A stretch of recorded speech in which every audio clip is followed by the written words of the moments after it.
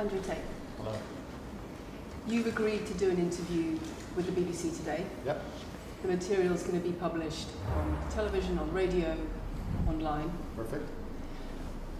We are doing an interview with you because you're facing some very serious allegations Correct. rape, human trafficking, Yep.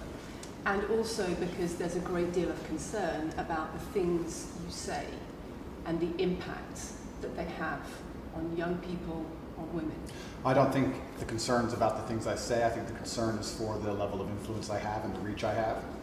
I would argue that a lot of the things that are already out there inside of the legacy media and the matrix as a whole are far more damaging than the things I say. It's the concern about the influence you have being a harmful influence, but let's start with the allegations. Not necessarily a harmful influence. The fact that I have I'm massively influential over the youth, and I understand that. But it's my influence as a whole which people are afraid of, not necessarily the things I say. Let's start with the allegations. Have you raped anybody? Absolutely not. Have you trafficked anybody? Absolutely not. Exploited any women for Absolutely money? not. But you have admitted using emotional manipulation to get women to work in the webcam industry for you. No. Firstly, let's, let's begin at the, let's start at the beginning. I'm facing charges. The one, the first one you mentioned, the rape one's already been thrown out by a judge because there's no evidence of it. Secondly, it's very difficult for me to sit here and have a very frank and honest conversation with you while we're in the territory of Romania about a legal case that's going on within Romania. I have to protect myself. I've agreed to do an interview with you, and I want to be as honest with you as possible. But I can't incriminate myself in any way, and I have to be very careful with what I talk about.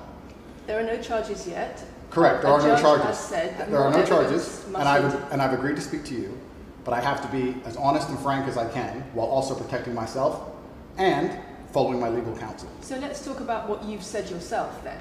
You have said on the website for your original website for the Hustlers University that you emotionally manipulated women to fall in love with you so that you could get them working in the sex industry for your financial gain.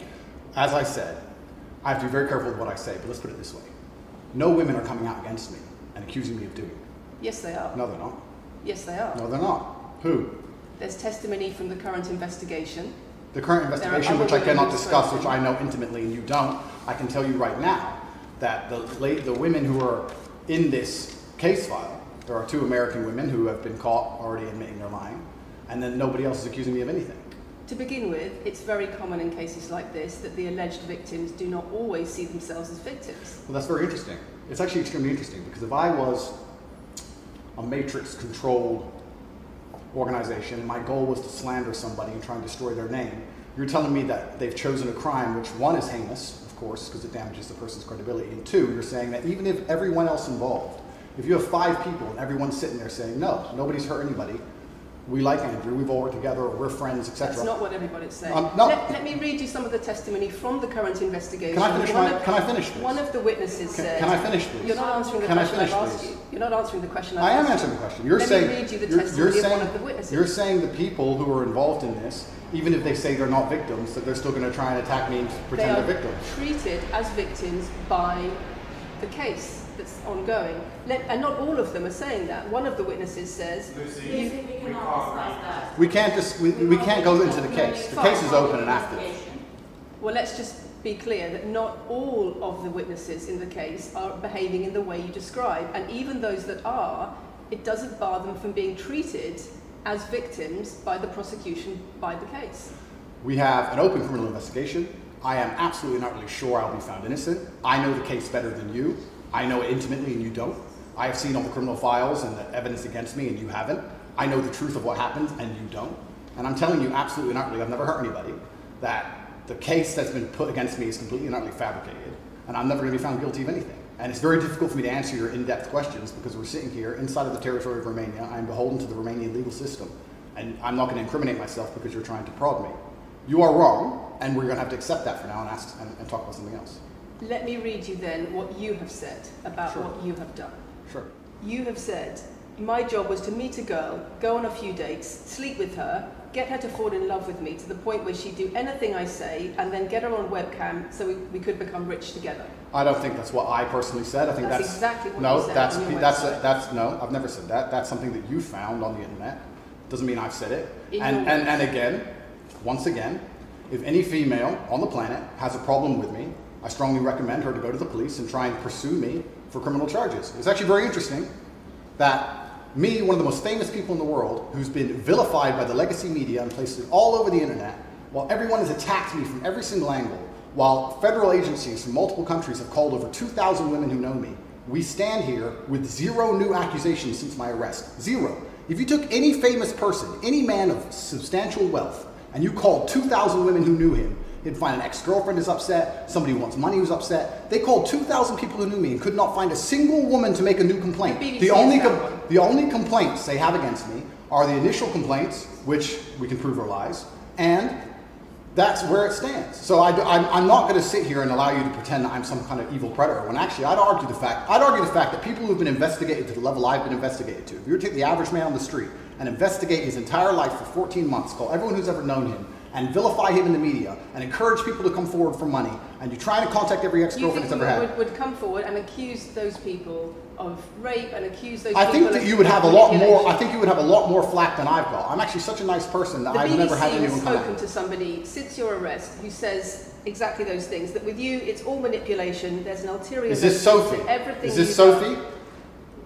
Oh, Sophie, the, the, the fake name, no face, no I was the, so the story that was wanting invented. to please him and wanting him to be happy that I was just kind of yeah okay do whatever you want. And what has she accused? Has she accused me of a crime? This imaginary Sophie? She's making the point that there is Has she accused me of a crime? emotional or psychological manipulation. I've asked you a question, and I've allowed you into my house. I'm asking you a question. Correct, but you're not the boss here because I've allowed you into my house I'm asking you the question. correctly, and I'm telling you. You get to decide the answers. No, we're equal here. I've allowed you into my house. You don't come here with a position of authority. I'm doing you the favor as legacy media, giving you relevance by speaking to you. And I'm telling you now, this Sophie, which the BBC has invented, which there's no face of, nobody knows who she is. The and BBC as- did not invent. Of course not. And she, because you never invent anything. And she has not, fi- she's not filed criminal charges against me. What are we talking about here? What is We're she talking saying? about emotional manipulation Has she- the sex industry for your financial gain. absolute garbage. She has not filed criminal. This person, if they exist, has not filed criminal charges against me. I welcome anybody who believes I've harmed them, male or female, any point in the past, to file criminal charges against me. I will fight them. I know who I am, and I know what I've done, and I know the truth, and I know that I'll be found innocent of this attack. The reason I'm being attacked is because of my massive influence, not because I've ever hurt anybody. And for you to sit here and say that everybody around you is saying you're innocent, but that doesn't matter because the state will say they're victims, and they're just going to grab everybody you know and call everybody victims, even if they say they're not, and try and put you in jail, you are describing a matrix attack. You're not describing human trafficking. I'm describing women who are going to court to accuse you of rape and human trafficking. We will see what women go. Me, we will finish, see what women go to court at Can the I end of this trial. please? We'll see which women go Can I finish, please? We'll see which women go to court. I'm describing women who are going to court to accuse you of rape and human trafficking Sophie hasn't gone to court. Sophie doesn't and exist. I'm describing women who have spoken to the BBC at length Sophie doesn't exist. and other media ex- organisations about what they say is emotional manipulation and coercion. And I'm quoting back to you your own words where you describe They're not my words. coercion They're words you found. They're words you found on the internet, and Sophie doesn't exist. on your so let's move on to the next in subject. your voice. Move on to the next subject. No, I think I'll stick on this one for a minute. So there's other places in that same website where you say you get girls to fall in love with you and they do it because they love you, because they want to do what you say. Convincing women to take part in some kind of business arrangement doesn't work long term because they're emotional. You've got to get them to fall in love with you. Once that's again, coercion, that's emotional manipulation, that's abuse. What you've found are clips from the internet, some text from the internet, and you're going to sit here and tell me that that's the reason I should be Your website, your words. It's not my website. Yes, it is. No, it's not. Check my website. Next. It's the website you've taken down, and I wonder why those comments have been taken down. No website. No website's been taken down. My website is the same. It's been the same for a very long time. The comments on this website, on the original website, have been taken down, and I wonder why. You are accusing me. I'm guessing what you're trying to say is you're accusing me, and you're trying to say that I'm guilty of the things I'm accused of, and I'm emotionally manipulating people. I'm saying that you have said you emotionally manipulated people here for your own financial gain, No, absolutely not. and I'm asking you about that. Absolutely not is the answer. I look forward to the end of this trial. I look forward to clearing my name. I look forward to the BBC and the legacy media having to say not guilty and having to tell the truth. As I've said before, the only other person who's been found, despite absolute rigorous, destructive levels of investigation and prodding into my life, is this imaginary Sophie by the BBC who doesn't exist. And if you were to find any single other man on earth and try and analyze his life forensically to the level they've done mine, you would find genuine damage to people. I don't hurt people. It's not just Thousands of women have come out in my defense. Thousands of women have come out in my defense, and you've not mentioned that. Thousands of women come out in my defense. Because the problem is when women accuse you of serious crimes Okay. and emotional manipulation. let's agree that that's thousands of women. Uh, let's agree that It's not the problem that some people say you haven't done it. It's a problem that some people say you have. thousands of women come out in my defense, and as we stand right now, we have an open criminal investigation. The people who are involved in the criminal investigation are saying we're not victims of anything. Andrew's fine; he's never hurt us. You're saying no. I have the opposite to that. I have to counter to that. I have someone called Sophie with no face, a fake name, who we've invented, and she's not accusing you of anything criminal. So I don't see the whole point you you're trying to say make you here. manipulate women. They say you manipulate women. Why wouldn't people think you do? I'm not here. uh, Do you think I'm manipulating you? I'm asking you about the testimony you've given on your website and the testimony No, you're, have given you've about printed you. something off that you found on Reddit, and you're going to sit here and say that that makes me a bad person. And I'm saying that you should know better as a journalist and, and do some proper journalism. Let's investigate the fact that I think thousands. you should answer my questions I am. properly. I already am. I already have, and we should move on. She's just trying to start an argument. It's not only about the criminal allegations, it's a, a much bigger issue. You've got children's organisations in the UK, you've got rape organisations in the UK, you've got the police naming you by name as someone who has a harmful influence on children and on women in the UK and elsewhere because of the things you say, because of the way you present gender relations, the way you say men should treat women. That's very upsetting. And the reason that's very upsetting is because I know that's not true. I'm genuinely a good person. I believe my impact on the world is positive. In fact, if you were to read the comment section of nearly any video I post, especially by the legacy media, 95% of the population agree with me. Most people know that the things I say are positive. Legacy media as a whole has lost all its credibility in the last three to four years. Nobody believes it. And it's a shame, it's a massive shame that the BBC come here and try and push and purport this idea that I'm a dangerous person. I'm putting my own words to I'm. I'm anti-drugs. I've never pu- pushed drugs or any. Uh, I'm anti-drugs. I'm anti-violence. We're, the UK is facing a knife crime epidemic, and they're Well, going to sit here and say. They're going to sit here and say that I'm the most dangerous man in the UK. You have said you're the most dangerous man in the world. I've said I'm the most dangerous man in the world. You've also said that a woman's intimate parts belong to her male partner. I'm glad you find that funny. I find it funny that you're sitting here saying that I've said I'm the most dangerous man in the world, and you and you believe that's. When did I say that? I'm asking if you believe it. No, you said you said you said you're the most dangerous man in the world. Is that some kind of proof that I'm dangerous? Am I Doctor Evil now? I'm telling you that it's very upsetting that you're going to sit here and that certain organizations in the world are going to try and pretend that I'm the biggest force of evil on earth when I'm genuinely a force you for good. you. I'm genuinely a force Not for what good. I've said. And the and the reason they're doing this is because of the massive influence I have over the youth, and they don't like that I'm telling the youth to think outside of the matrix and ignore things like the BBC, which come here with loaded questions and false narratives and try and paint innocent people as, as, as guilty. You've said women's intimate parts belong to their male partner. I said that if a woman marries a man, she takes his last name and traditionally the man gives her away. I've been pushing traditional religious beliefs because I'm a religious man and traditional beliefs in regards to marriage, which everybody accepted 10 to 15 years ago. So what- that's not that's not that's not a crazy conspiracy theory. If you're going to sit here and say that me believing a woman should take a man's last name in marriage makes me the most dangerous man in the world, then you're just going to lose even more credibility than the BBC's already lost in the last four to five years. If that's your point, if that's your narrative You you want to push, say that good men luck. should be able to sleep with a lot of women outside marriage. That doesn't sound very religious or That's, very that's not what I said they should be able to. I said a lot of high value men, a lot of rich men do it. And then we discussed at length on podcasts why rich men do it. And we also discussed why women decide to be unfaithful. It's not a gendered argument. We discussed unfaithfulness as a whole. What are the reasons and motivations for men? And what are the reasons and motivations for women? Because you have no time to actually, You because you have no time to actually watch my content, because you have no time to actually watch my content at length and understand what I'm saying, you just come here with a small snippet which has been provided to you on a piece of paper. times doesn't make it true. No, completely. You don't have a clue what, I'm- uh, what I say or what I talk about. You never watch my content. You have small You pieces of paper, small clips on a piece of paper, and you're trying to pretend I've said evil things. And then you're going to say I'm the most dangerous man in the world, which is truly laughable. You said that, not me. Okay.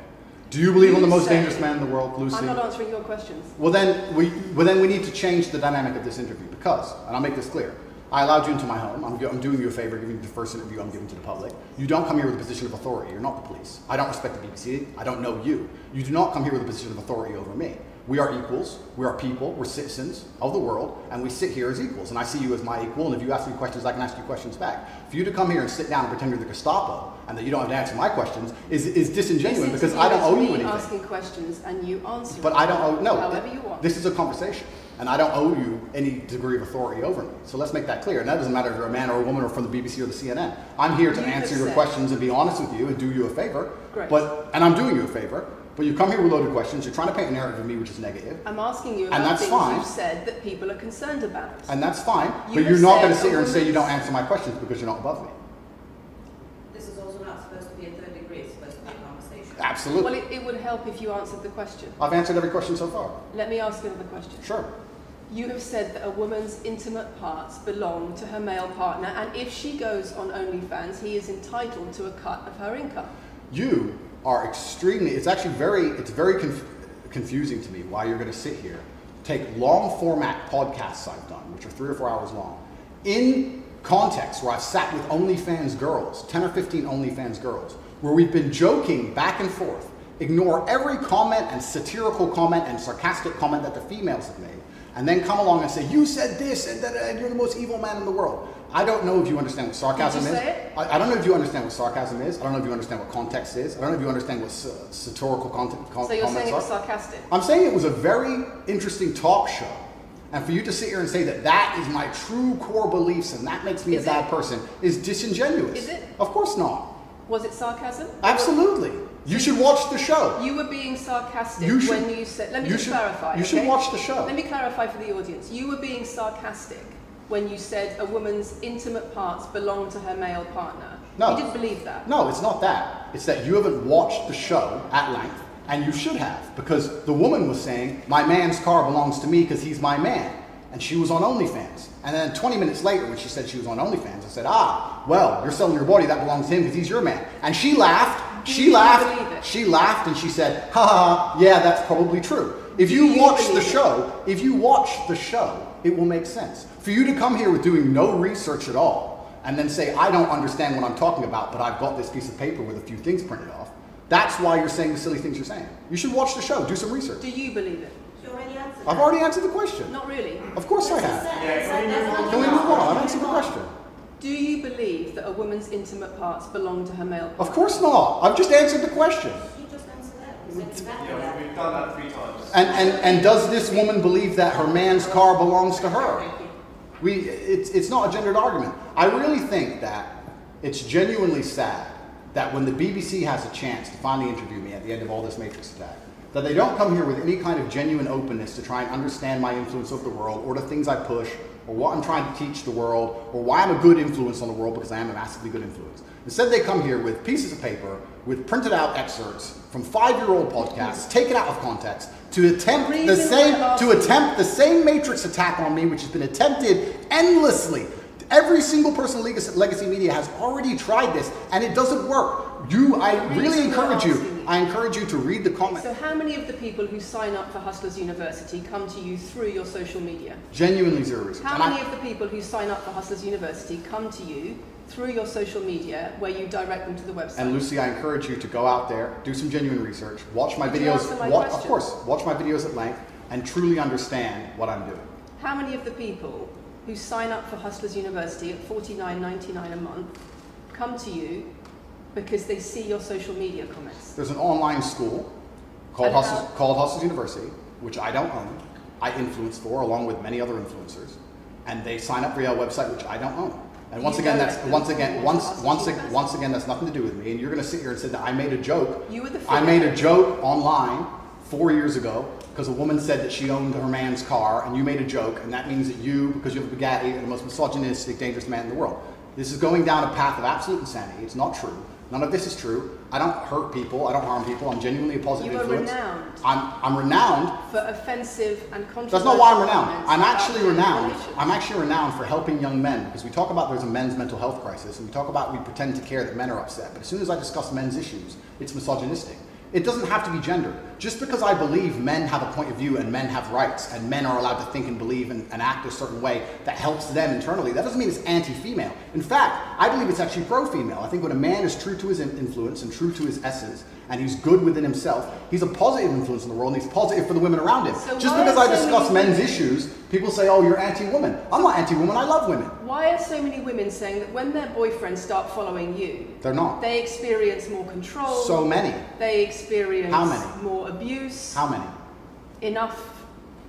Enough. Enough. Well, this is the first time I've heard of it. So, in fact, One is too many. Oh, of course, yeah. So, of, in fact, I've seen thousands and thousands of comments and have endless emails from women praising Doesn't the it fact, praising the fact that their sons are listening to me, it praising the fact that their the husbands. things I'm listen to me. saying. Does it not worry you? It would worry. It would You're worry. concerned about it your would. influence? It would worry me if I was genuinely damaging the world. But for you to sit here and say, Andrew, you've become the most Googled man in the world. You have billions of views, and one woman, one, is now saying that her husband is I not the same man she wants him to be. When thousands and thousands of people are saying the opposite, well, then I would say I that that's presented you with case after case after case, with quote after quote after quote of people who are genuinely concerned about the impact you're having, and you brush it off as if it's nothing. No, what you have done is come here with an agenda. You've come here with loaded questions. You've come here with things taken out of context. You come here with things that you don't understand are satirical. And then you're going to also sit and say that one woman said that her boyfriend changed when he watched one of your videos.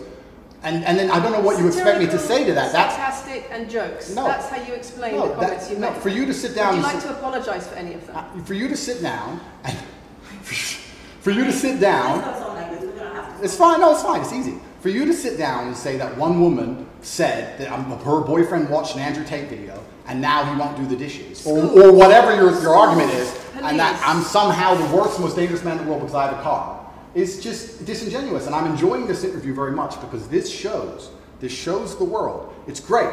It shows the world the truth about the legacy media because they beg me for interviews. They beg me, you have been begging me for months, please, we need to be relevant. And then you come here with loaded questions trying to paint a picture of me, which is completely and utterly false. I am a good positive influence for the world. The things I teach men are stoicism, discipline, self respect, hard work, obeying authority, listening to your fight coach, working hard in school, making as much money as possible in your job. If you actually watch the things I say, if you actually watch my comments about women, I've done long podcasts for hours long about females, talking about protecting for them, providing for them, how I believe women should be treated in a relationship. I've done all of this, but you don't watch any of it, and then you come here and ask me to answer questions I've answered at length thousands of times. Since you came out of custody, there seems to have been a lot about your charity work Correct. on your social There's media. always, I've always done the charity work, but now I'm promoting it. there seems to be a real shift. Yeah. I wonder what's behind that. Well, I've always done the charity work. I've been doing the charity work for years. I believe that it's my legacy to leave a positive influence on the world, and I've been doing charity work for over five years. Post my incarceration, my unfair, unjust incarceration, may I add. Post that, I've made it more clear the charity work I'm doing. But this is again, once again, very interesting. I spend $25 million a year feeding children, men, male children, and female children. In, in Turkey, in Syria, in Iran, and Iraq, I literally spend $25 million a year feeding children. And I'm still the worst man in the world because Because- four years ago I made a sarcastic comment. Because some people would look at that and say, okay, so before you got money from attracting people to your website by making controversial comments, but that might have got you into trouble. And so now you're looking for a new market. You're looking for a new market of followers who are attracted by a different sort of persona. I've always done the charity work, so that is obviously incorrect. And I have proof that I've always done the charity work, so you're wrong, firstly. I believe that if you have a lot of wealth, you should help people, and I'm helping people. I also think it's very, very interesting that you could not find another celebrity in the UK or anywhere else who's spending 25 million pounds a year feeding children in war torn countries. I'm doing that, and I've been doing that for a long time without even mentioning it. I never even said it. And now that I've said it, people are going to attack me for it and say that it's disingenuous. Just to the, the person in Sudan who's eating the meal, do you think they believe it's disingenuous? No, I think they, I think they feel, feel pretty good that Andrew Tate fed them. And to sit here and say that I'm a bad person now because I'm manipulating charity, because I'm using charity, I'm just trying to do good in the world. That's all I've ever been trying to do. When women speak out against you online, disagree with what you say, they describe being bombarded with rape threats, with death threats, trolling by your followers. Would you like to say anything to your followers about Sure. how to behave in that situation? Absolutely correct. I would love to do that. First things first, I've yet to see a female stand up and, and argue with me online. I don't ever see hardly any. The only women who message me agree with me. Secondly, I don't think that anybody who disagrees with me, male or female, should be trolled. I don't think they should be insulted or attacked. I think the ideas should be discussed openly and fairly and maturely. It doesn't matter if a man agrees with me or disagrees with me or a female. I don't think my followers should come along and attack her. And if my followers are doing that, I'm upset by that. But let's make a very important clarification. That's not my followers. That's the internet. If you were to log into any video game lobby, I don't play video games, and someone were to sit there and say something stupid, they would be trolled with similar comments. That's the unfortunate reality of the internet as a whole. That's nothing to do with me. But I encourage all of my followers to open to engage in open discourse and be fair and honest and talk in a way which is mature. There's no need to troll anybody, male or female. Okay? Kathy, anything?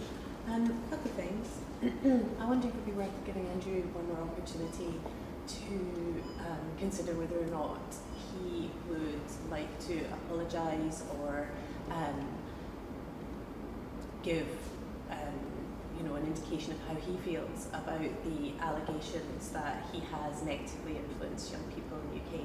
And secondly, I think we should put on record that this interview is taking place in your house because you're under house arrest. If it were not for that, then we would have chosen another location, I'm sure. We would have negotiated that between us. So I think that's just worth putting on record. Okay. Um, so, just to put on the record then, you've said that you've invited us into your house. Correct. We're here because you're under house arrest. Correct. If you were free to leave, we would have negotiated a more neutral setting. Don't you think, as the BBC, it would be very interesting to come here and discuss the fact that I was put in a dungeon for 92 days and then locked in house arrest without charge? Don't you think that's a far more interesting conversation than old YouTube snippets? Don't you think that would be interesting? You're here under house arrest because there's an ongoing investigation into rape and human trafficking allegations against you. Correct. I've been incarcerated without charge. And don't you think... Actually, It, the rape allegation is It's not been what dropped. Has been incarcerated for. correct. So I'm, I'm, I'm incarcerated without charge. And I think that would be a far more interesting conversation than I guess Julian Assange is incarcerated without charge and nobody's interested in that either. So if you actually wanted to do some genuine journalism and investigation, we could talk about the fact that an innocent man who is yet to be charged with a crime has had his liberty deprived of him. And I think that would be a far more interesting angle than talking about me being the most dangerous man in the world because I own a car. And this question about schools being very worried about your influence. Yes. Boys in primary school or you know boys as young as 11 are quoting you at school, Yeah. attacking girls, refusing to respect female teachers. Yeah. Would you like to say anything about that? I'd like to say a lot. First things first, as I've repeatedly said, and, I, and the only reason I keep repeat, repeating it is because I'm sure this interview will be edited. I am a positive force for the world, and I teach children discipline. I teach the world discipline, male or female, of any age, and a lot of women listen to me as well. 40% of the people who listen to me are actually female. Secondly, I do understand with my massive influence, and I am now the one of the most influential people on the planet, that I do have to be slightly more careful with things I say. I'm not going to disagree with that. The idea that I said something five years ago on a video that got 300 views. So what do you mean, being slightly more careful? I'll, I'll, I'll give you an example. Some of the jokes I made four or five years ago on a YouTube channel that got 300 views, I would no longer make. because Like I- what? Like the OnlyFans joke, the one you mentioned repeatedly. When she said, "My man's car is my car," and then she said she did OnlyFans, and I said, "What do you sell on OnlyFans?" She said, "My tits," and I said, "Well, those are your man's tits." As a joke, ha ha ha. Everybody laughed. The point, the fact that I could do that on a podcast five years ago and only got 300 views, now I understand I'm the most influential man on the face of the planet. I would be more careful with certain things I say. That doesn't mean the things I originally said were genuinely out to harm people. Do you really believe you're the most influential man on the face of the planet? I'm the most Googled person on the planet. Do you believe you're the most influential man on the face of the planet? I'm the most Googled man on the planet. I think we're done. Yep.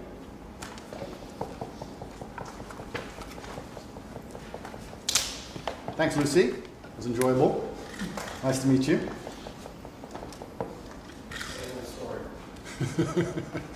no, it was fun. It was good. I enjoyed it.